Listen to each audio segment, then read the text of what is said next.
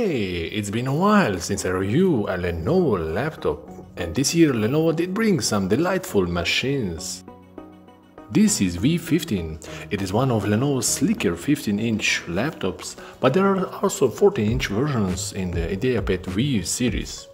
What's exciting about this one is that it has the Ryzen 5 processor with a much faster RAM and SSD drive.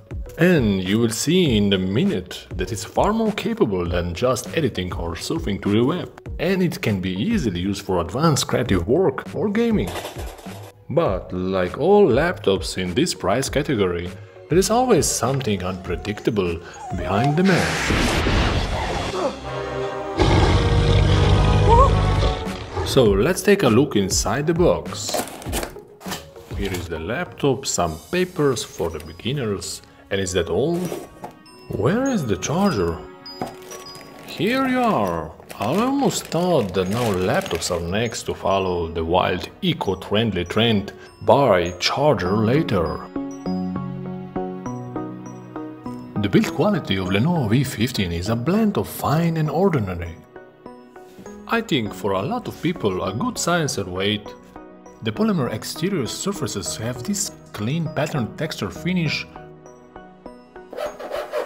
Otherwise, it's got a standard lid, it's not an extraordinary design, but if you think black is too colorful, there is also an iron grey version.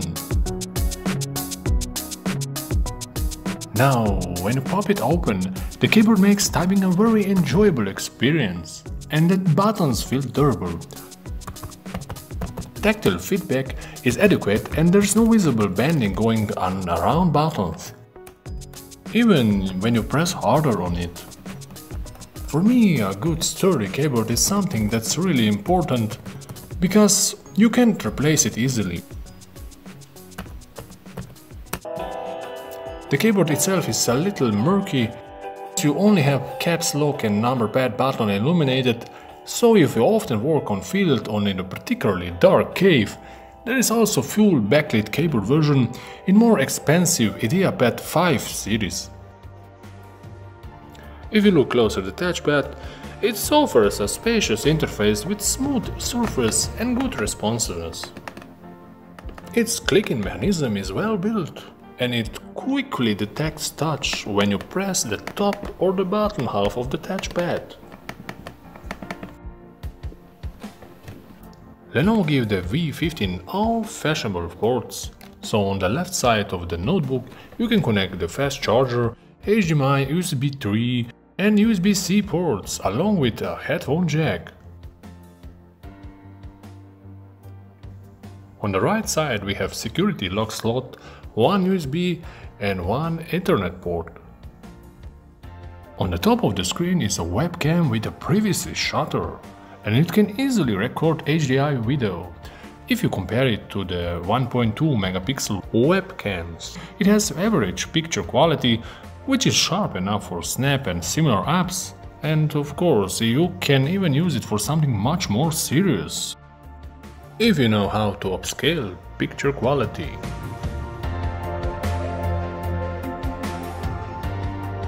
V15 comes with an almost 16-inch LED backlight screen with a Full HD resolution.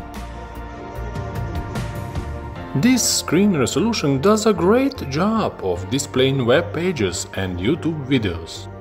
It will be good for everyday use, but if you want even better colors, then go with the IPS screen version, which also has a lot better viewing angles. Even though the screen has average below 60% color accuracy, colors still look good. Of course, it's not all perfect. Like many other laptops in this price class, it cannot get a lot brighter than 230 nits, which is not the best for working outside.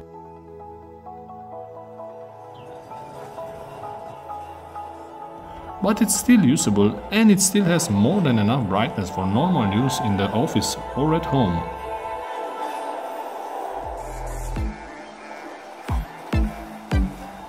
As you can see, Lenovo outfitted V15 with an improved cooling system designed to keep the laptop quieter and less hot when it's not fully loaded.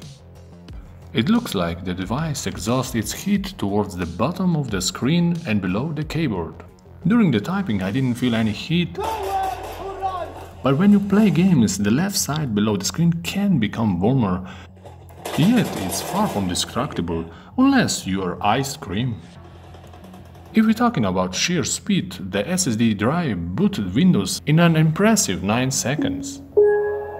In terms of upgradability, there is only one slot of RAM and you can still add a second SSD drive. Benchmark-wise, it does quite stack to the other laptops in this category. It has great CPU and good amount of RAM, so completing the task like programming application or basic editing of photos videos is an easy thing to do. For an affordable mainstream laptop designed for work and play, the Ryzen 5 processor performed well and without any annoying fan noise. When it comes to multitasking, I tested some apps with YouTube in the background, there wasn't lag between scrolling or switching between apps. I also tested some games, it runs smoothly Valorant on medium settings and I can say Radeon Graphics offers good performance for most popular online games. If you want to play more demanding games like Battlegrounds, then it's best to go with GeForce MX graphics version. With a 38 watt-hour battery inside, I wasn't expecting to be surprised. On the battery test, which involves some heavy editing, gaming and watching YouTube, the battery lasted more than 4 hours, but it should last up to 7 hours and more if you lower the screen brightness and disable some unused background apps.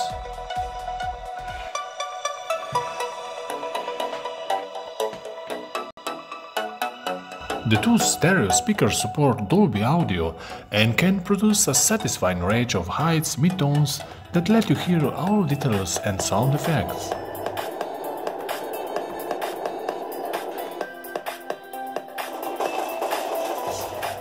While only 3 watts bass is subtle, it can still surprise in some scenes.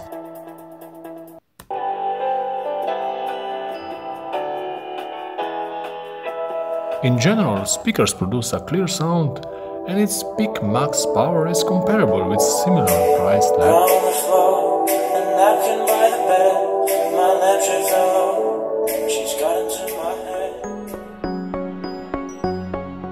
Unlike a lot of 15.6-inch laptops, the Lenovo V15 packs a lightweight chassis with thinnest bezels, great keyboard and above-average speakers. The Full HD screen is sharp, the only disadvantages are the narrow color coverage and the TN screen version has a limited viewing angles. So if you want more comfortable viewing angles go with IPS screen version.